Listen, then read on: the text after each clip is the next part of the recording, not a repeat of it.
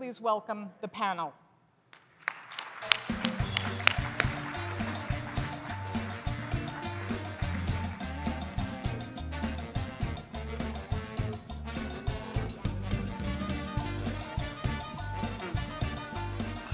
Hi, everybody. Welcome back from break. I hope everyone's still with us as the afternoon progresses. Uh, we do have a great panel here. We're going to dive right in. Um, Daryl, I thought I would start with you um, and try to get your thoughts on how you go about uh, elevating, uh, you know, a perhaps originally transactional deal beyond, say, the deal terms and make it into a strategic partnership. Well, when we think about strategic partnerships, we don't start thinking really about the deal terms at all. Because uh, to us, when we consider strategic partnerships, we have to keep in mind that we only have finite resources and we have to decide where we're really going to focus from a strategic standpoint. And so the selection process for us, we can only have so many partners, and we have a number of partners that we have that kind of level of relationship with, but it has to be something for us that isn't going to provide just the simple benefits of a media transaction. It has to provide something that's a higher level strategic benefit, not just to our clients, which are obviously at the center of all the decisions that we make, but frankly, the way I look at it is what is it going to do for our organization? How is it going to elevate us? How is it going to introduce us and help us push uh, our organization harder to take on new concepts and new ways of working so that we stay on a bleeding edge? Because that not only provides a benefit to our clients, but it provides a benefit to our credentials as an organization and helps us grow so that we can perform for more and more um, uh, clients. And certainly, the collaboration that we have at uh, Facebook is a great example of, uh, of that. And beyond that, we were um, you know, fortunate enough over the past uh, six months or so, maybe nine months or so, to expand that with um, uh, Instagram and uh, which is something that's very close to, uh, to our hearts uh, at Omnicom Media Group. Because as we look at the, the, the social landscape and we see uh, all of the benefits that we can drive from um, uh, the data that we accrue from that, uh, from that environment, we also want to keep in mind, um, as we look at our client base, the power of building brands. And for us, Instagram, the power of the image uh, the power of the size of the image on the screen, and what we could do from that at the top of the funnel and uh, have that complement and help drive the bottom even more effectively was a very important part of uh, us building the, uh, uh, the relationship with Facebook. And I'm, I'm happy to say that that collaboration, it requires you know, a level of passion amongst our people. You need to have a team that's really prepared to in, in, in, engage on it.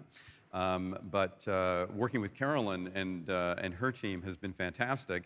And it's even, uh, you know, evolved to a point where um, after, as we were putting our, um, the structure of our partnership together, we were helping mold um, really the offer of Instagram to uh, other uh, clients, whether Omnicom Media Group or otherwise. So it really, um, a strong example of partnership. But you kind of got to be all in. You got to believe what can this do for our organization and uh, bet on those few partnerships. Uh, you three have all uh, worked together a lot. Your companies uh, have done some great executions over the last few years. Uh, how do each of you approach strategic partnerships within your organizations? Well, I have to tell you, um, I have to echo what Daryl said. Um, strategic partnerships are about, you know, that one plus one equals three, okay? And you know, for us uh, at PepsiCo, what's really, really important is when we work with a strategic partner, the first thing that we look at is how do we align on the same goal or outcome? Because we all have different perspectives, we all have different needs, we all have different um, uh, you know, strategies that we're trying to go after. But when you can unite on the outcome, and when that outcome is mutually beneficial, unbelievable things happen. And um, time and time again, you know, whether it be OMD who came to us, who said, you know what, you got to look at Facebook not just because it's a mass reach vehicle, but it, it offers so much more strategic opportunity. And they really helped us see what that unlock was. And then when you sit down with Facebook and you really see that this is more than just an engagement building platform, but a business building platform then all of a sudden you start having unbelievable conversations. And I think from, from our perspective, you know, we're, we don't have a business unless we're growing their business, right? And Daryl's team and Facebook's team have to grow Ann's business at Frito Lay and PepsiCo more broadly. And so we are very focused on being a listening organization, not a sales organization. I can't stand the notion of having a bunch of media sellers that pitch Ann or Daryl or their team about selling impressions because you can have that anywhere. What we're trying to do is be business advisors and consultants. And the way I evaluate my team is do they deserve a badge from either one of their, our partners? Meaning, do they actually get a company badge so that they are really representing the interests of PepsiCo or Omnicom? And that's how I evaluate my team, not have they just sold the latest and greatest thing. And that's how we approach it. So it's about trust, it's about collaboration.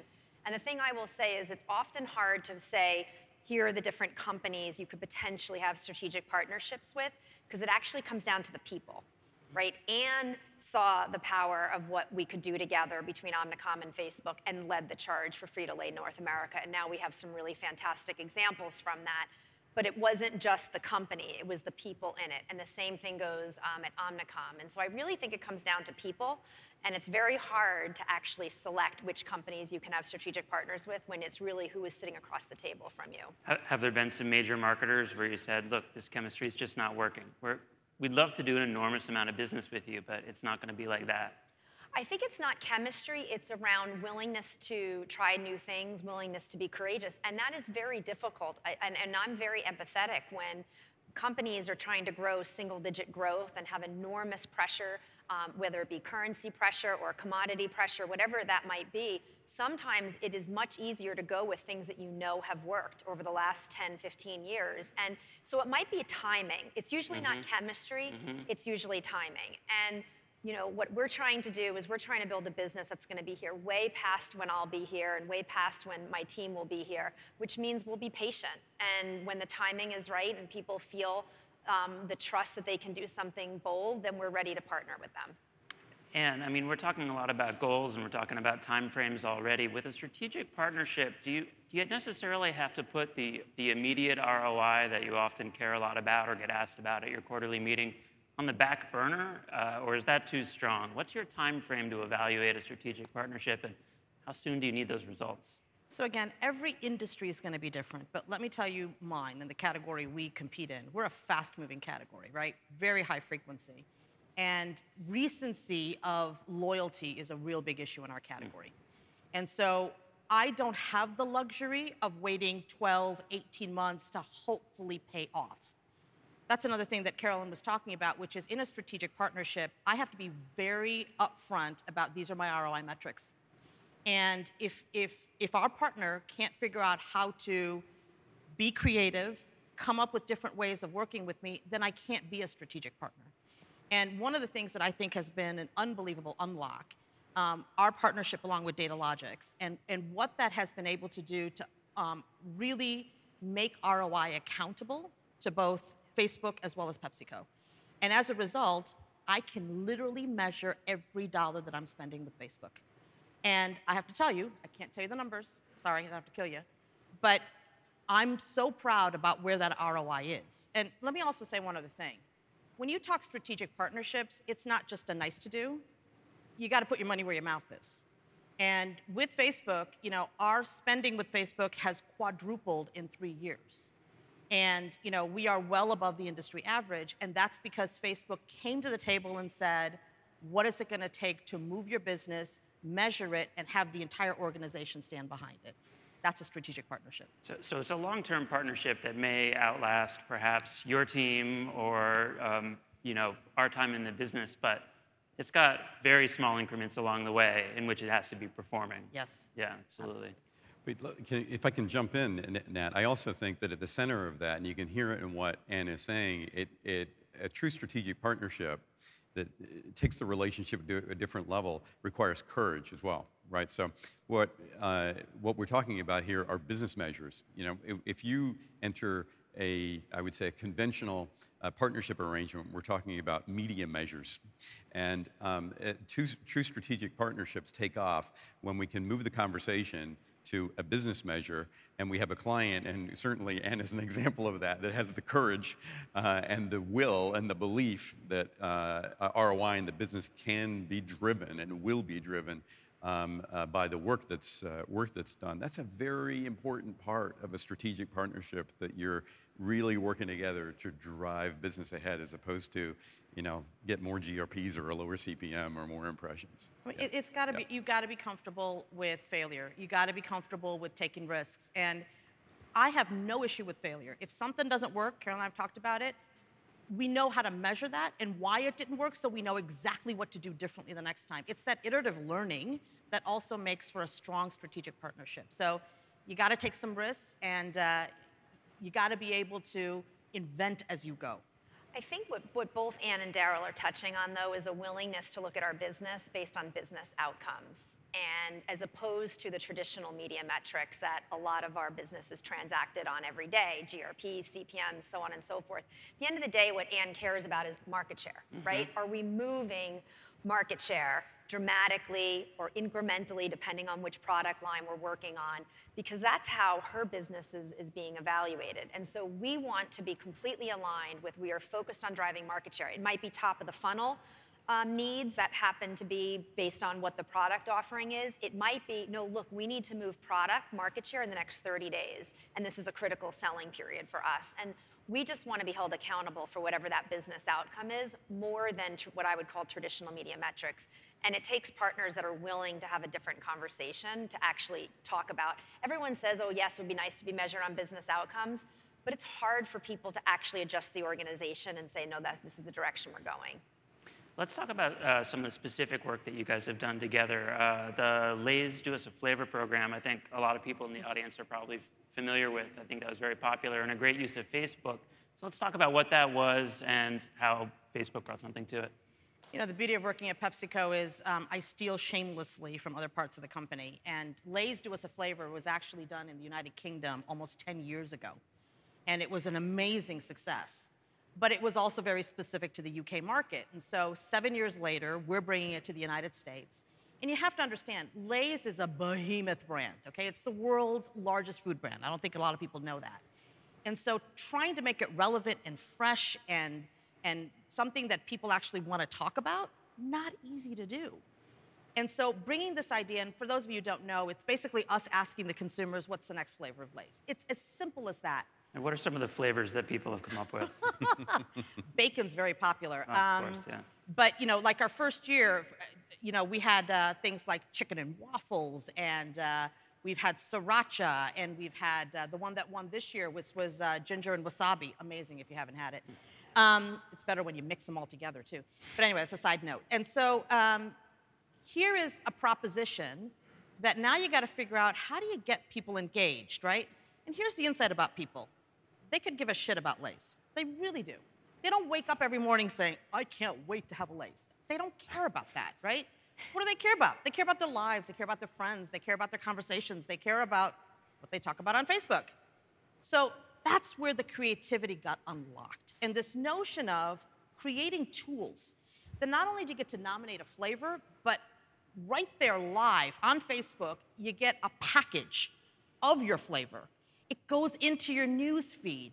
All of a sudden, we created these tools where people can compete with their friends. My flavor's better than yours um, these flavor analyzers, like they, they would go into, again, with opting in, with permission, but if they went into kind of what, where's the latest restaurants you went to? What did you post on Facebook? We use that as inspiration to give them ideas. All of a sudden, guys, they're not even, they're talking about their lives and Lay's is going in for the ride. And so, you know, the first year that we did it, you know, based on how it did in other markets, we thought, eh, maybe we'll get like a million submissions. We got four million. So then I went to my team and I said, You sandbagged me. Okay? So the second year we did it, I said, I want to see at least double. Second year, we got 14 million submissions and we had to shut it off. Like we just couldn't handle the volume. And what it speaks to is not only is it an amazing program that had amazing ROI for a behemoth brand like Lay's, I think the real secret of it was was that we used a platform uh, in a very creative way that allowed people to have another excuse to talk to each other. And at the end of the day, that's what really matters. When you, when you start a program like that, how often are strategic partners talking? I mean, I guess when you start it, I would imagine 24 hours a day. But over time, are there ways, practical ways that you keep your team working well together? Do you have check-ins on a weekly basis, on the phone, in person? How do you keep this all moving along so that there aren't disappointments or miscommunications that blow the whole thing up?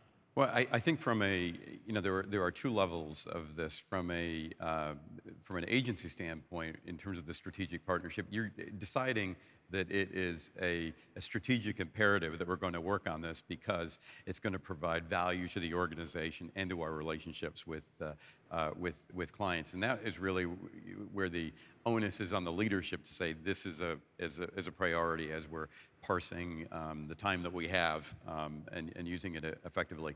Um, and, uh, and the relationship tends to be at a mid to high level um, on that and an organizational level, and priorities get, uh, get set. But when it comes down to work on an individual piece of piece of business, that's when the relationship really has to click in on a daily basis because you know the, it, it's all in the details in terms of getting this work done right, particularly when we're exploring new areas uh, for, a, uh, for a brand and looking at ROI performance and monitoring that very carefully and how are the messages delivering.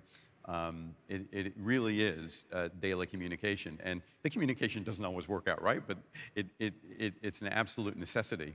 It's also a necessity um, I believe uh, as we, as when we head down a path like this, when we're testing new ways of measuring performance of, uh, of, of, brands, for the client to very much be an advocate of making the strategic partnership work. Because, because if that's not there, ultimately, we're not really going to test the edges of what's possible from an ROI standpoint. It's the client that gives us the confidence, frankly, uh, to work with them. And, uh, and, and, and pull together everything we know about our relationship with the partnership and deploy it um, for them. Critical part of it. Confidence seems like a, a, key point. I mean, sometimes when you guys are working together on extremely creative ideas and really adding value to each other and like the good stuff is flowing, it must seem kind of easy. Other times there's uh, areas that are more sensitive. You know, data is always uh, a subject that agencies and media vendors and clients have to figure out how they want to navigate. How, how do you, for example, figure out what you want to share and what you want to protect and how much you trust each other? Well, from our point of view, we never share personally identifiable information.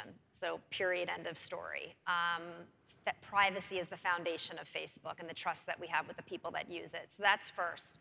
We look at data really in a couple of different ways. I'd say three different ways.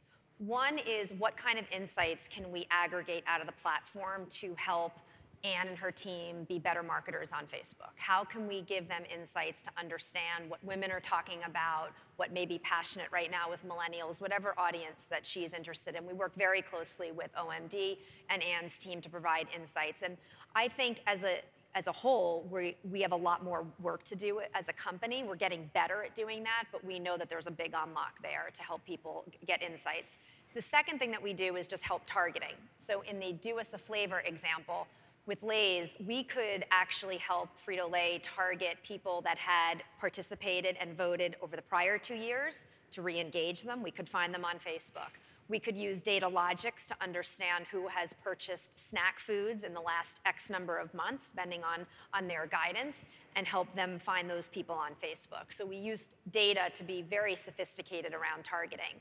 And then the third is using data for measurement, right? At the end of the cycle, how do we prove through really conversion lift, experimental design, take group A, group B, that should be very similar characteristics, showcase group A, the ads from Frito-Lay, and group B does not see them, and what's the actual lift. And so those are the three ways. Are we giving better insights? Are we helping to target better? And are we helping to measure? Um, and that's how we think about it. And, and I would tell you, ways that, you know, as, as a client, I can leverage that data is, is very powerful for me. Um, so, you know, in our portfolio, if you just look at our snacks portfolio, we have, you know, multi-billion dollar brands like Lay's, and I have $100 million brands like Stacy's. And Stacy's is a much more targeted, smaller brand. And back to the point about leveraging data the right way and targeting the right way, and then partnering with like the Spark uh, process that really leverages the creative um, assets that Facebook has to offer, there, I've now found a way to, in a very targeted basis, create scale and efficiency that there's no way I could replicate had I just taken the Lay's model and applied it to Stacy's. And so when I'm constantly thinking about ROI, every dollar is held prisoner. Those things matter, and that's why a relationship, a relationship like this becomes very powerful. Um, I've, I've seen uh, strategic partnerships uh, compared to trying to sail ships uh, in, along the same course as the wind changes and the tides and the, the currents and all the rest. How do you guys keep yourselves going on the same general trajectory? Um, how much of that is collaboration? How much of that comes down to some kind of hierarchy? There's a boss ultimately, yes, in the middle here. Um, how does that mix work? You, can, you cannot underestimate the power of the, uh, of the client in Okay. terms of keeping the ship sailing in the right direction and being the adult in the room as well as we, uh, as we, as we build the relationships. Um, uh, it's, it, it, it, it's the difference between uh, you know, good results and great results. Um, it, re- it really is. It's, it's, it's the difference between competitive results and outstanding competition beating performance um, at, at, at the end of the day. So, um, look, there are a, a lot of uh, uh, agencies from a creative standpoint, from a social standpoint, from a media standpoint that can participate in strategic partnerships. But ultimately, there has to be one North Star. There has to be a, you know, a belief in where we're all going together and what the contribution is, is going to be. And when you have that kind of leadership uh, that uh, clearly we've, uh, we've had in the uh, Lay's example, um, is what, what makes it work. And if you don't have that, you're stumbling around. I, there's one thing I, I think is a secret sauce that you know kind of gets lost in all of this that I really want to talk about, which is, at the end of the day, we're a people business, and you cannot underestimate the power of people. And one of the things that I talk a lot about in these strategic partnership is how am I going to cast for the right people to work on something like this? Because at this level, look, there's a lot of talented people in an organization. That's great. That's kind of the ante. But what you got to find are those warriors, those people who have passion, the people who know how to take it to the next level. Who, you know, we're not on a co- conference call every week. We, you know, we get together, we love each other, but you know, let's face it, I'm, I'm not, you know, we're not. They don't have time for me. And um, so, what I need is to create a network of people who are cast for that role. Um, later on, there's, a, there's a, a panel that you guys will see, and I'll give you two examples of how I've cast. Our Vice President of Marketing, Jeff Klein, is going to be on, on stage with Kristen mm-hmm. Colonna, who heads up the OMD relationship for us. Two, I couldn't think of two better people. You know, just get out of their way. Mm-hmm. Let them go at it. My other senior director, Ashwin Nathan's here, who is a digital mastermind. And the biggest and best thing that you can do in a strategic partnership, leave them alone. Hmm. Let them go at it. Trust your people. Um, you guys are also all global powers um, who have to ex- execute in local markets in, in a smart way. And I know that another example that you guys have done together is the, the Pepsi Max work in the, in the UK. Could one of you tell me about what that campaign looked like? Sure, I'll, I'll, I'll tee it off. You're wearing blue. Um, Go I'm for wearing it. blue, so I'll, I'll represent Pepsi Max. Um, so in the in Europe, vacations are very popular in the summertime, and Pepsi was really trying to reimagine the way they would speak to their core audience um, in the UK. And so they first enlisted our support in what we call a publishing garage, which is we have a very small creative shop team that worked closely with the Pepsi Max brand team and OMD, and in fact, Arnold at the time on the creative side, and developed a really fantastic creative execution um, that was in video format. And then the real big challenge for Pepsi Max in the UK was how do we reach, how do they reach their target audience during the summer when people are not sitting in front of desktops, not watching traditional media, but frankly on the beach and on holiday with their families. And they realized the big unlock for them was it has to be mobile and it needs to be mobile video to tell a story, to really bring the brand to life. And so, a beautiful two minute film, which was fantastic, with a uh, magician that literally shocked people in the UK because he was literally riding on the red bus, looked like he had no support, no one figured out how to do it. So, it was a great piece of creative. It was engaging. It was what we call thumb stopping creative at Facebook, which is as you're flipping through your news feed, what is going to make you stop? What's going to make the thumb stop and actually engage? And it was a terrific example of brand building at the upper funnel, target audience, and the recognition that this audience is not sitting in front of not only traditional media, but the desktop, right? Because there would have been alternative places to place the video. Um, and then they realized the Pepsi Max and OMD team said it's got to be front and center on people's mobile device. And then we became uh, the platform. So they reached half of the UK audience mm. within a couple of days, which is a very effective way. I mean, each day in the UK, we have about 21 million people on mobile devices. And so for a brand like Pepsi Max, it's a very efficient way to do brand building. In these partnerships, uh, I don't know whether it's easier at the beginning or, or as you uh, get to know each other better, do you ever find yourself saying, you know, that's not working, that's not working as well as I thought it was going to, or there's an opportunity we didn't predict, and doing a real course correction a week or two into some campaign. Is there a way to stay nimble even though you've got such big partners working on pretty elaborate campaigns? Yeah, I think, you know, uh, in, in, our world, I think that, you know, what is the next rung? Kind of what's the next, um, you know, kind of pillar that we're going to go after? And I will tell you, this notion of being able to um, um, really understand consumers at a one-on-one basis and really being able to, um, back to your point about understanding what works for one versus another. And you know, every manufacturer is trying to come up with their kind of proprietary way of looking at data and, and, and, and being able to uh, understand how they can control that. And so I think at the end of the day, what, what we have to learn is, you know, how do we get to that next level where it's that intersection of um, what I call granularity with scale. Hmm. And that intersection point is the next um, kind of summit. And uh, we've got to start again figuring out some um, courageous ways of breaking some of those sound barriers um, because we're getting into a market, especially like in the United States, that you know growth has, has is slowed down and you've got to find those pockets of granular growth. If you go globally, that's a very different model. And so if, if, if media partners and if um, uh, manufacturers are not willing to be nimble to be able to understand what that next summit looks like, um, we're going to become irrelevant very quickly. We change course a lot. Um, we innovate our product offerings, our solution offerings, and when we need to innovate and be nimble, it really comes down to our teams knowing that they've got A, the support of the leadership saying this is really important, and at the end of the day, we've got to do what's right for growing Ann's business, right? That's what we're aligned on. And so if that means changing course or something's not working as well, being having the trust, the open collaboration, the frank discussions. When I sit with Ann and Daryl, it's not about, well, tell us how everything is, how great everything is. Like, I want to know what are all the things we're doing wrong? Like, how do I fix these things? Because that's the only way we get better.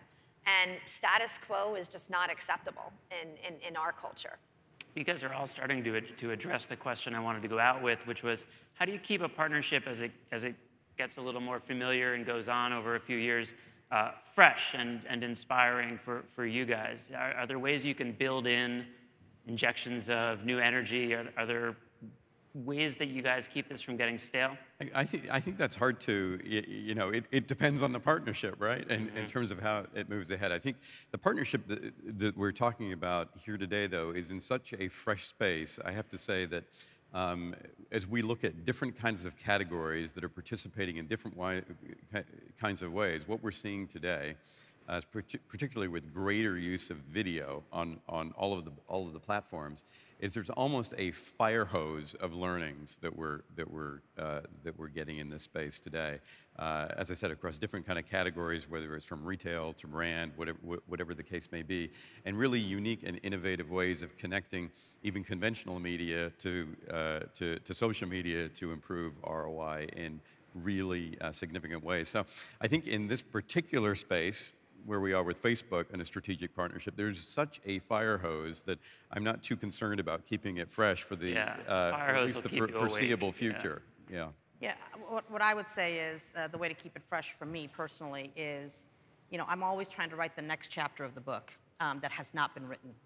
Um, and so for me, a strategic partnership is what's the next chapter we're going to write together that no one's tried before? Because that's where that's where our edge comes from, our competitive advantage comes from. And you know, I'll give you one example. We always talk about engagement as a consumer engagement. Again, another partnership with Facebook, you know, we took that platform to our retailers. And we've worked with the Walmarts of the world. And all of a sudden, we, PepsiCo, are coming to our retailers with a program that is just as unique and, and compelling that moves their business with their shoppers, albeit with our brands. I'm okay with that. But that's a different way, that's a new uh, summit that we're scaling together. And every year, if I don't see that new summit, that's, that's where, the, where the partnership becomes stale. Mm-hmm. Anything? I would just say innovation. We think about our partnership with pillars, and innovation is just core. It's core to the DNA for all of us, for each of our discussions. And so, be it the retailer relationship, be it Instagram, and be it whatever the future has to hold, we're accountable for coming to our partners with what we think is the really defining the future of marketing. And so that's how we approach it. Great. Thank you guys very much. It's been a great panel. Real Thank you. pleasure. Thank you. Thank you.